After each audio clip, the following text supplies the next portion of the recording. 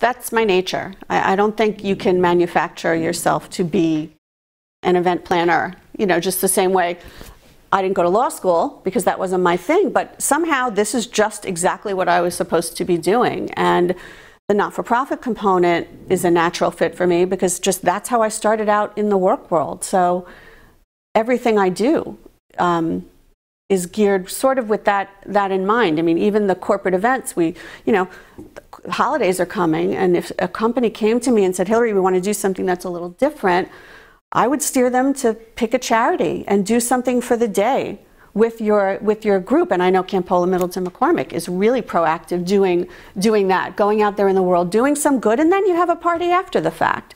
So it's not only just a celebration, but you're helping another group, tangibly helping another group. You're team building, you're, you're making some, some real alliances out there, and then, then you can celebrate after.